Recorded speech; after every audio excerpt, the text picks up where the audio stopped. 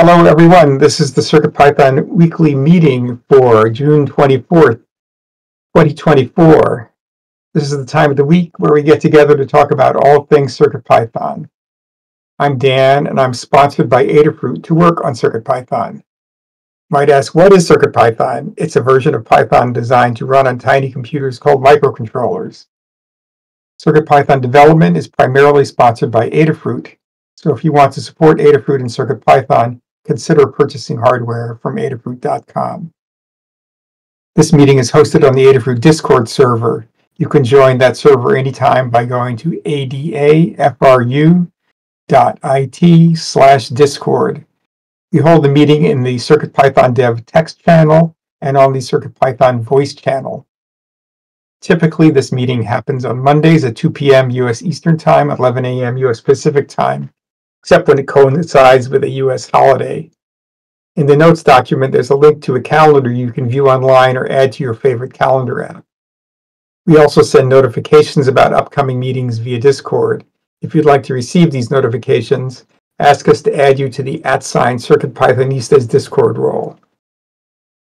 There's a notes document, which is currently a Google Doc, that accompanies the meeting and recording. You can contribute to this document beforehand the final notes document includes timestamps to go along with the video, so you can use the doc to skip around and view the parts of the video that interest you most. The meeting tends to run 30 to 60 minutes. After each meeting, we post the link for the next meeting's notes document to the CircuitPython dev channel on the Adafruit Discord.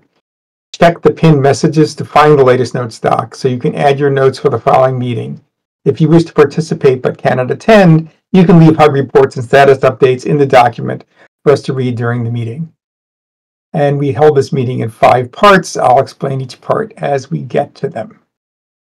So with that, uh, we'll start with the first thing, which is community news, which is uh, items of interest um, that comes from our weekly Python for Microcontrollers newsletter. That newsletter goes out on email via email on Monday mornings. You can subscribe by going to adafruitdaily.com to subscribe. Thanks to Anne for putting the newsletter together. If you have any Python and hardware projects to share or find content you'd like to see included, please consider contributing to the newsletter.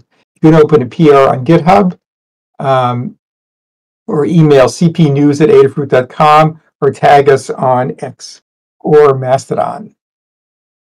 Okay, so I'll start with this. Take a timestamp. And here are some items from this week's, this morning's newsletter. Um, first of all, um, I'd like to note that uh, code.circuitpython.org uh, has been updated. It's a browser-based CircuitPython editor and serial terminal. Uh, so you can just go in your browser to code.circuitpython.org. It should be a Chromium-based browser like Chrome or Microsoft Edge or Opera. Opera doesn't work on all platforms for this editor, but uh, the other two do. So you won't need to install anything. Uh, so in the past, uh, you can you, have been able to use code.circuitpython.org to connect to the CircuitPy drive on boards that provide a USB um, drive, or you can use it to connect over uh, the Wi-Fi workflow. But uh, Melissa has recently added um, capability of connecting to boards that don't uh, provide a CircuitPy drive, like say the Espressif ESP32, plain ESP32, or the C3 or the C6, and they now can read and write files um, via the REPL. You that's done invisibly. So kind of the way Thonny works. Um, and so you can use this to set up a board for Wi-Fi workflow really easily, or you can just use it to edit uh, a C, say a C3 or C6 or plain ESP32 board. Um, that's really nice. You can also upload and download image and sound files for your code, which was previously not an option except with web workflow. So uh, check the links, but basically just type code.circuitpython.org into your Chromium-based browser and get to try it out. All right. Um, next up, uh, how Raspberry Pi built a silicon design team. So for nearly 10 years now, Raspberry Pi has been building um, and designing integrated circuits uh, in Cambridge, England, to design and produce custom silicon chips for its products. Uh, examples are the RP2040 microcontroller board and the RP1 IO controller, which is on the Raspberry 5 boards. Uh, these chips contain smaller blocks, often referred to as intellectual property, which are either designed by Raspberry Pi or brought in from elsewhere and integrated into Raspberry Pi's chips. And if you want to read about more, more about this, there's a link in the notes document. And then uh, finally, uh, let's talk about uh, an item called the best Python cheat sheet. Uh, there's a link to a multi-page, but not too many pages, cheat sheet, which sort of summarizes all kinds of features and basic functionality in um, Python. That is really CPython, based on CPython, and it's kept up to date. And uh, I find these kinds of things really helpful. I had a really great, like 24-page uh, Python 2 cheat sheets that I used uh, many years ago, which I found invaluable to look up things quickly in. And I'm sure this is, I looked at this, it seems quite similar. So uh, I'll, finally, I'll just remind you that all these items came from the Python and Microcontrollers newsletter. Please contribute stuff. We always appreciate items. Um, there are links about how to contribute either by pull request or by uh, emailing cpnews at adafruit.com or tagging a post with hashtag CircuitPython on various um, social media. And with that, we'll move on to the next um, section of the meeting called the State of CircuitPython, the Libraries, and Blinka. Uh, this section is a quantitative overview of the entire project it gives us a chance to look at the health of the project separate from our individual status updates. We'll talk about the project overall, then separately discuss the core, libraries, and Blinka. So overall, in the past week, we had 30 pull requests merged. There were 22 authors. Um, some names that I uh, have started recognizing only re recently are Apple Cuckoo, uh, M. Montal, uh, John Nodge, um, occasional contributor, uh, maybe to BND5, or maybe they've been here before, I'm not sure. Carl FL, uh, Lewinsky, I. Gibbons, and uh, if I've missed anybody who's new, sorry, uh, but we appreciate your efforts. There were five reviewers of those 30 pull requests, and there were 20 issues closed by eight people and 14 opened by 11 people. And now uh, we'll move on to discussing the CircuitPython core. And Scott, if you're available, go ahead and read that. Yeah, happy to. Thanks, Dan. Okay, so the numbers, uh, this is for the C core of, of CircuitPython. It's what runs on the devices, is the embedded firmware. Uh, we have uh, 14 pull requests merged from 15 different authors. Um, this can happen if commits are authored by multiple people. I think that happens with WebLate, for example, which is our translation stuff. Um, so I just wanted to thank um, Apple Cuckoo, Matthew Jeffson, Carl FL, XFox20, Lewinsky, uh, Kyle Moore, uh, John, uh, Tim Chinowski, occasional contributor are all uh, infrequent contributors according to my brain. Um, so thanks to them, we had 15 authors, which is awesome. We had two reviewers, myself and Dan. Um, as always, we're looking for folks to do reviews. Um, I would say most weeks we do have other folks besides the Adafruit Funded folks, uh, which is great. Um, so we appreciate that. Uh, pull request wise, we had 25 open pull requests, so we're right at our uh, one page goal. Um, and hopefully we'll get through a few more of those um, to get further under it. Um, we have uh, for issues, we had 10 closed issues by three people and seven open by five people, so good participation. And we're net down three, which is great for 700 or 693 total open issues. Um, we use active milestones to prioritize Adafruit funded work. Um, and we have 10 open issues on 9.1, so that's quite a lot, but that's because we've had a lot of feature work come in uh, from me and introduce a bunch of issues. So uh, that is our main goal right now in terms of uh, priority for Adafruit funded uh, work. Um, we had two open issues for 10.0. That's like the longer term um, major like breaking changes stuff that we want to do, just as a reminder. Um, and we have no issues not assigned to milestones, so we're keeping up on triage And that's the highlights for the core. Okay, thank you, Scott. Okay, uh, next up is the library section. And Foamy Guy, could you read that? Yeah, thanks, Dan. Uh, this section covers all of the CircuitPython libraries, uh, which can all be found on GitHub under names like Adafruit underscore CircuitPython underscore, and then the name of whatever library it is. These tend to be either driver libraries that help you uh, interface with a particular piece of hardware, or helper libraries that let you work on your project at a bit of a higher level without worrying about as many of the uh, complex details. Across all those libraries this week, we had six pull requests merged by four authors. Uh, the name here that stuck out to me as newer or less frequent was Hell Gibbons. Uh, so thanks to them, as well as some of the other folks who have more recognizable names. Um, we had three reviewers this week. Uh, so thanks to Liz, Dan, and myself uh, for reviews on libraries this week. The of the pull requests that were merged, the oldest one was 66 days and the newest one was one day. Uh, that leaves us after the week with 52 open pull requests. The oldest one is a draft at 676 days. The newest one is one day. And over the last seven days, we had five uh, issues closed by four different people and five new issues opened up by five people. And that leaves us with 858 open issues. Uh, and of those, there are 103 of them that are marked as good first issue, uh, which you are able to find over at circuitpython.org slash contributing if you are interested in getting involved in CircuitPython, particularly in contributing to the development of the project. Uh, if you do load up that page, circuitpython.org slash contributing, what you'll find is a list of open PRs uh, for all these libraries, as well as uh, open issues on the libraries.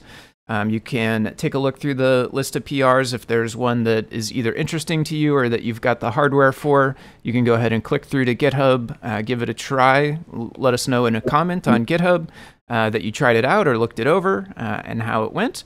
And uh, if you get comfortable with that, we can get you leveled up to leave official reviews as well if that's something that uh, interests you.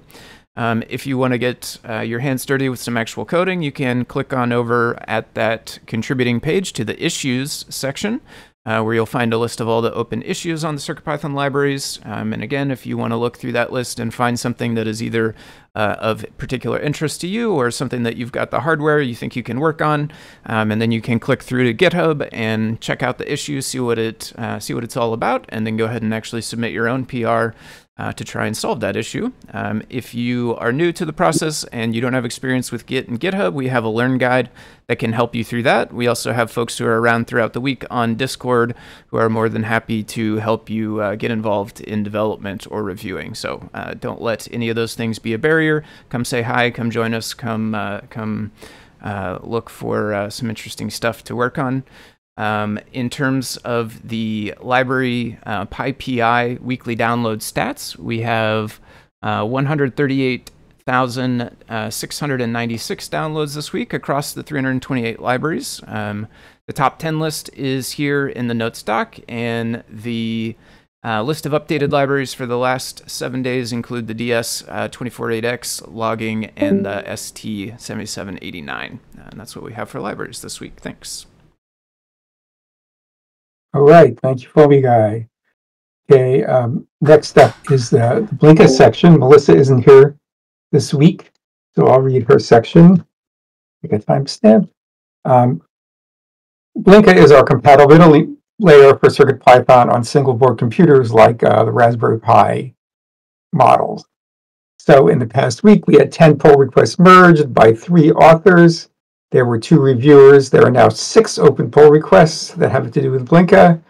There were five issues closed by two people and two opened by two people. And there are now an even 100 open issues. Um, there were uh, 17,280 PyPI downloads in the last week and 18,364 piwheels downloads in the last month. And we are now supporting, Blinka is now supporting 133 boards which is uh, fantastic. Okay, so uh, next up is Hug Reports. Uh, what is Hug Reports? It's a chance to highlight folks in the Python community and beyond for doing awesome things. So each of us contributes to Hug Reports. I'll start and then we'll go down the list alphabetically. from the notes document to give everyone a chance to participate. If you're text only or missing the meeting, I'll read your notes when I get to them in the list. All right, so first I'll take a timestamp for myself. Uh, thanks to the 910 beta testers, we have more bugs uh, on the list, but that's fine. We want to fix bugs. So thank you for testing things. Um, thanks to Carl FL, Bill88T, and bablokb for testing uh, the maximum usable Wi-Fi power on various um, Wi-Fi boards, uh, especially Espressif boards. It turns out that for certain boards which have uh, very small antennas and kind of limited antenna space or something, it appears that setting the power to the maximum, which is the default, makes it work poorly. And it's actually better to back off the power a little bit uh, by 3 dB, 6 dB, or even more, uh, just to make it work better. So uh, several boards now have custom uh, max power, and they work better because of it. So thanks, folks. Uh, thanks to Scott for doing deep sleep on all the Espressif chips now that it, uh, it's available. Um, please test, folks, if you'd like. Um, and thanks to Jeff for adding stream protocol to SSL sockets, which is uh, an important step toward uh, making things more uniform. Appreciate that. Okay, next up is DJ Devon 3. I'll read theirs because they're not here. Um, thanks to Justin and everyone who worked on Connection Manager. Writing API examples from existing boilerplate examples is a breeze now. Thanks to Foamy Guy for all the work on the examples directory in the bundle. Started working on a new project and was up and running in seconds without having to search online for an example in a GitHub repo. Another hug for the quick review of a recent PR. Um, thanks to Tannewt and Foamy Guy for all their hard work on BLE related projects lately, and a group hug. And next up is Foamy Guy. All right. I have a hug report this week thanks to Jeff for figuring out an issue and sharing the root cause that was uh, something to do with importlib.resources um, and an issue that popped up with the uh, device specific uh, board stubs. Um, uh, thanks to Scott for help last week and some pointers into the documentation for the BLE uh, file transfer uh, workflow, and then group hug for everybody. Thanks. Okay. All right. Thank you. Um, and next up is Jeff. Hello, I've just got one for today. I want to thank Liz for uh, collaborating on a pull request in the Learning System GitHub repo. It's not a CircuitPython thing. Uh, it turns out that the Arduino actions weren't running correctly for quite a while, and a number of little problems crept in. And she joined me and has done like the, the last 80% of the work to get that back to green. And I really appreciate your work on that, Liz. So that's what I got. Okay, thank you. And uh, next up is Justin. I'll read theirs because they're text only. Um, timestamp. Uh, thanks to Tyeth for answering all my Adafruit IO questions, and thanks to uh, Dan, me, for working all through my PR, through all my PRs. Okay, you're welcome. And next up is Scott. Hello. Okay, so hug reports for me. Um, first, Mild Mojo um, in the general tech chat uh, gave some really good feedback to somebody who was not being super inclusive with a greeting. Um, so I, I really appreciate them being very patient for a while with them while they kind of dug in their heels. And now we have uh, I have some private conversations with those folks going. Uh, but thanks to Mild Mojo for being really really awesome and and uh, supporting our community. And then also hug to Maker Melissa for all of the code.circuitpython.org updates. Um, you do awesome work, so keep it up.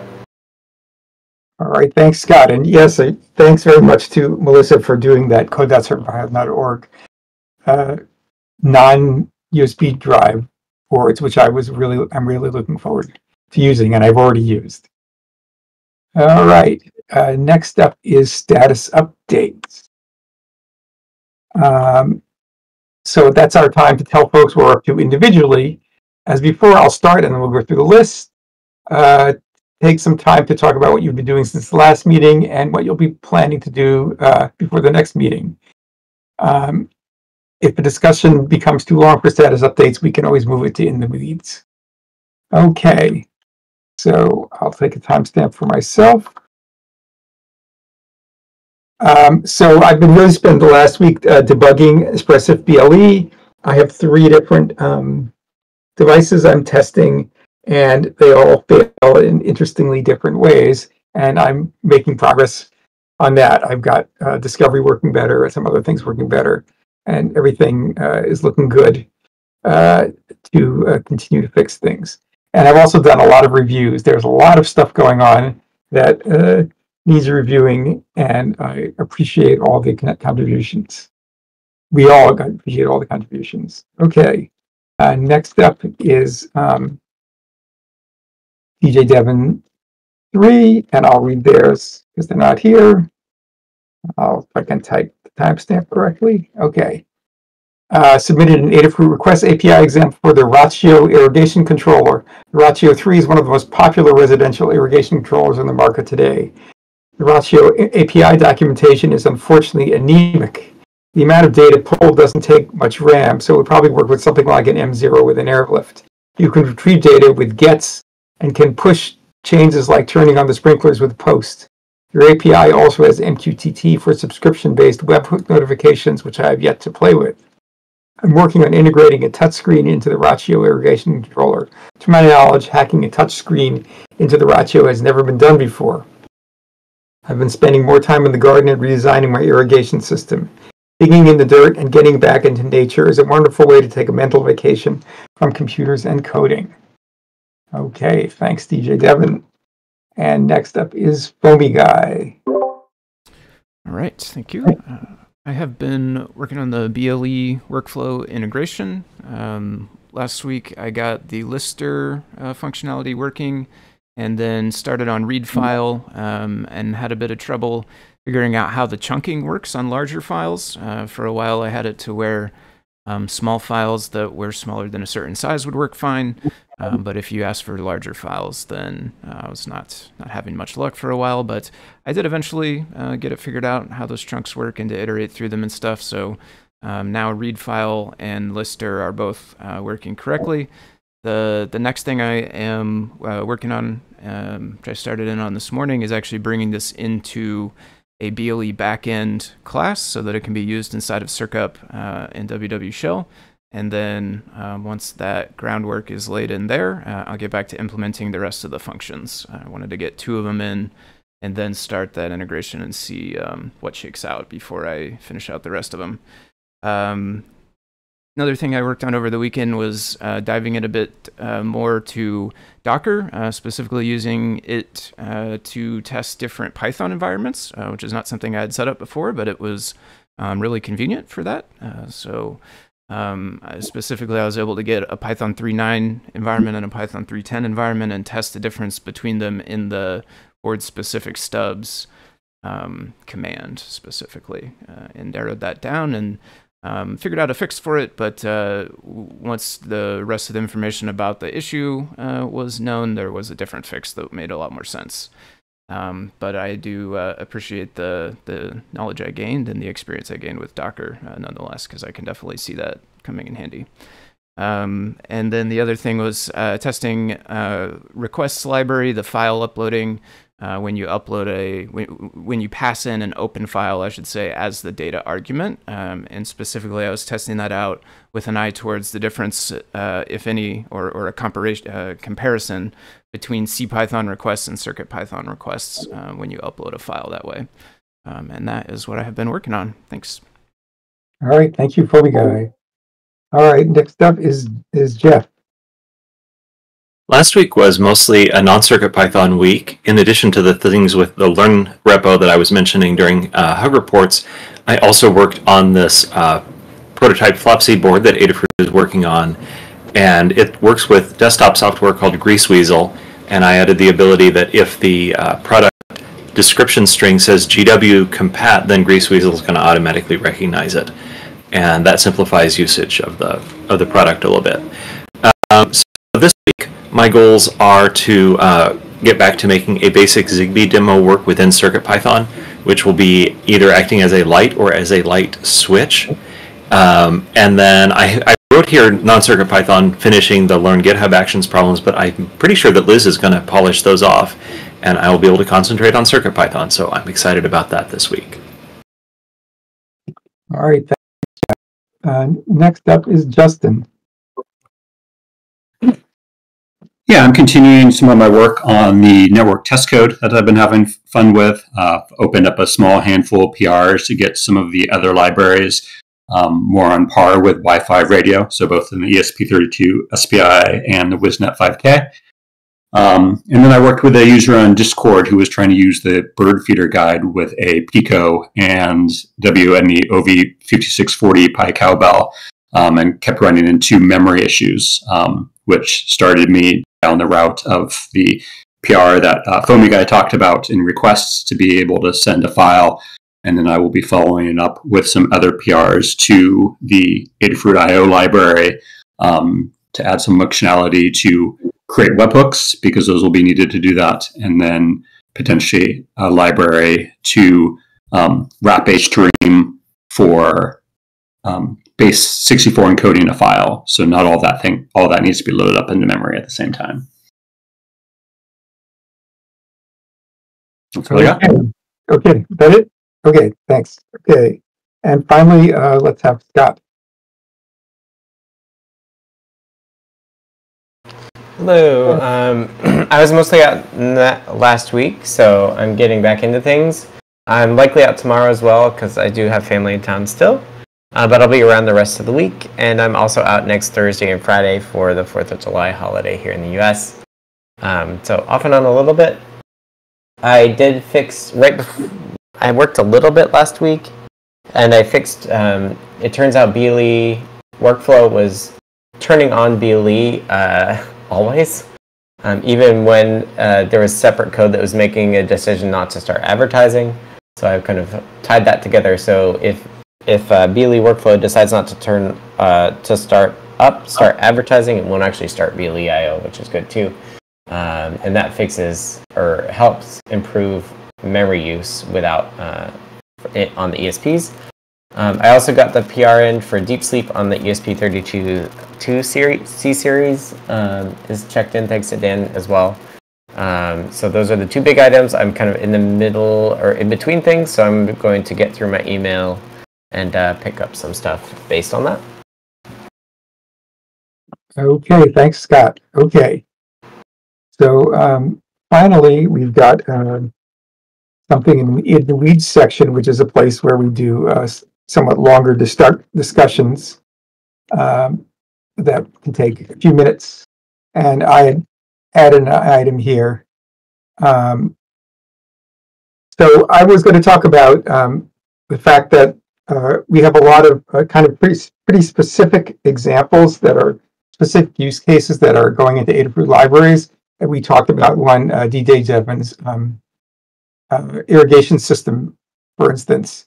And I really appreciate these examples. I'm not trying to, uh, we shouldn't have them by any means, but I'm not sure whether putting them in the libraries makes sense. There are a couple of reasons for that. One is that the library gets a new version every time there's an addition to the examples, even though there's no um, actual code change to the library.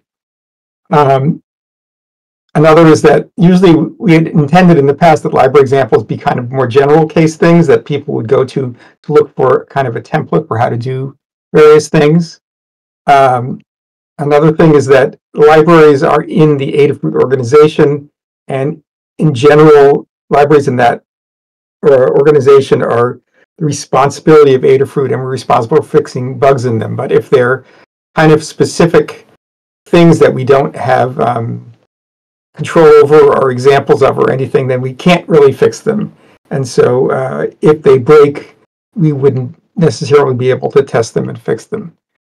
And finally, finding these examples uh, requires probably using a search engine, um, which is kind of okay, but um, they tend to be a little bit buried. In the past, we talked a little bit about documentation of these, but I'd like, I think I'd like to talk about more in general where they might go. So if these examples were projects in a Learn guide, uh, the code would be in the Learn system repo, and you'd see them exposed in a Learn guide.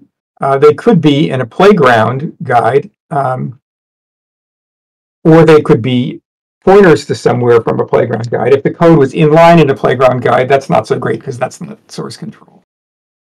Uh, each one could be in its own repo that would be owned by the contributor and they could be added to the community bundle uh, for smaller things that might be a little tedious because it is kind of a lot of work to create a library repo. Maybe we should think about how to automate that.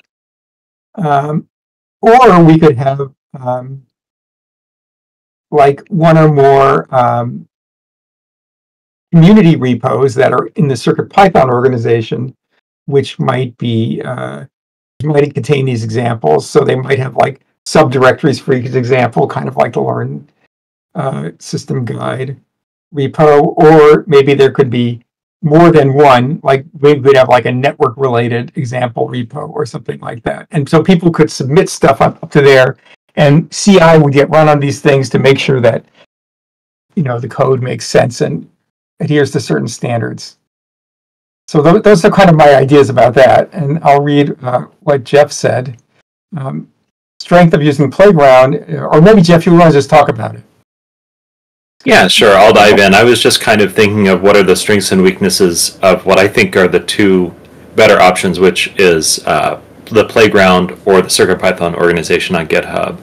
Uh, so, strength of Playground is that there's a clear ownership of that example or project by one user, but then the weakness is only that one user can change that page on um, on the Adafruit Playground. I don't, as far as I know, there's not a way to allow other people to edit your pages.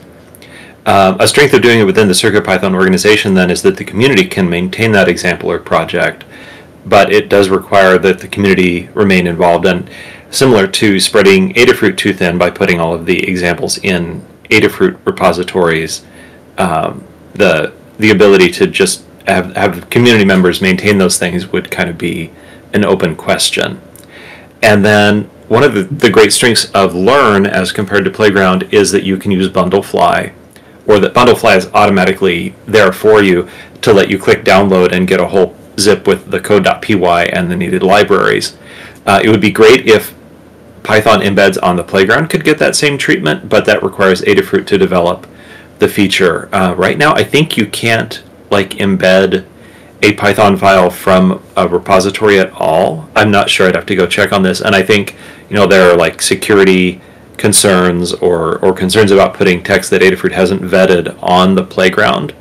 And so one possibility here is uh, putting the, the code within the CircuitPython organization and then those uh, embeds would be able to be fully featured on Playground, uh, whereas a you know, random GitHub repository wouldn't.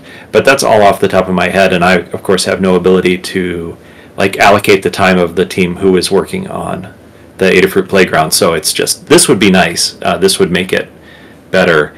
And uh, you were kind of at the end, Dan, talking about having a way to create a repository that was an example. And so it could be interesting to look in what into what would it take to like create a cookie cutter for a CircuitPython project that would do things like create a bundle of code.py and the needed libraries within GitHub Actions, and that could be an, an interesting area that doesn't necessarily require an Adafruit person to do it. It's something that would operate on GitHub using GitHub Actions. So those are my my thoughts and a little bit of a brain dump. Thank you for bearing with me. All right, thanks. Yeah, and if you put, did you put in a note in about the um, uh, like a cookie cutter thing? If you could put something in about that, that'd be great to write that down.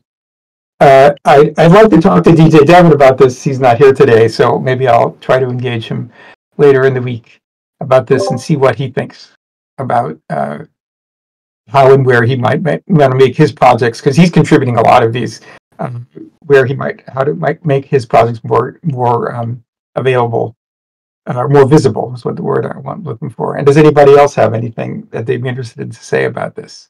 Um, I would add uh, just one thing about I think it would be nice if we retain some kind um, of um, I guess, centralized place where they can be linked from, or maybe we could just link them from the repos, not have the, the literal example code in the repo, but a pointer out to uh, wherever they end up being stored. Um, something like that I think is valuable. I don't know, I guess how many people are discovering stuff the same way I am, but I can I can say personally I discover a lot of stuff or or even for stuff that I'm not necessarily discovering but using again, I go um, to those examples and grab that as the starting point for almost everything I do. Um, and they often come up in my searches in Google and stuff like that. If we were to move to something where they were just individual repos owned by um, individual members, I I fear that it might be harder um, to find those things. So some kind of pointer in the repos, or um, maybe some kind of like uh, glossary type thing, or, or, a table of contents type thing. I think it was mentioned where they could be separated into categories uh, and linked out from somewhere. Um, I would love to see something something like that that that keeps them uh, as easy to discover as they are in the examples folders.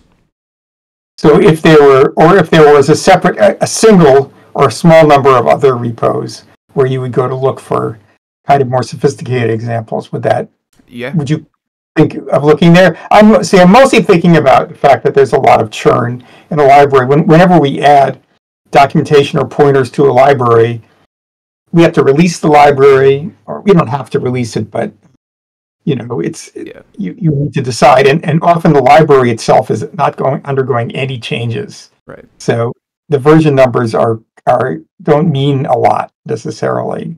Like it doesn't reflect a bug fix or anything like that. Right. So uh, that's that's where i was thinking of trying to get it out of there but i think you're right. I think like having some kind of big list that's very easily searchable and that is placed a link from like maybe there might even be a page called examples on circuitpython.org or something like that. Or uh, um, Jeff has linked here in the chat the awesome, uh, awesome link, awesome CircuitPython. Yeah, and if I recall right, awesome is a more generalized thing, right? So theoretically, we could fork off and have like an awesome CircuitPython examples or something like that, where they were, um, where it is kind of a home to list those things. Something like that sounds like a, a pretty good solution to me as well, for sure.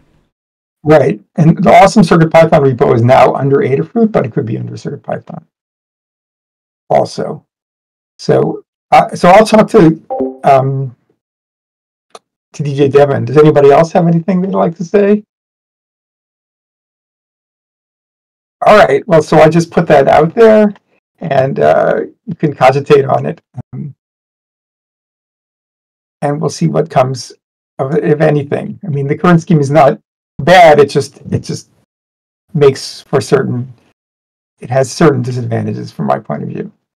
Okay, so that um, kind of wraps it up uh, for this week. Um, next meeting is at our usual time of Monday, uh, 11 a.m. Uh, U.S. Eastern, and uh, sorry, 11 2 p.m. U.S. Eastern and 11 a.m. U.S. Pacific time. Uh, there's a U.S. holiday, but it's later in the week, so there's no problem. So we'll see you then. Um, let's see. Thank you to everybody who participated. I'll just remind you that if you want to support Adafruit and CircuitPython, uh, consider purchasing it from the Adafruit shop at adafruit.com. We're going to release videos of this meeting on YouTube at youtube.com slash Adafruit. The podcast will be on a, on major podcast services. The meeting will also be linked to from the next Python for Microcontrollers newsletter. You can go to adafruitdaily.subscribe to subscribe. And um, you can also go to adafru.it slash discord to find uh, the meeting next week. And again, if you want to be notified, you can be added to this at sign circuit Pythonist as well on Discord. So thanks everybody, and I'll stop recording now.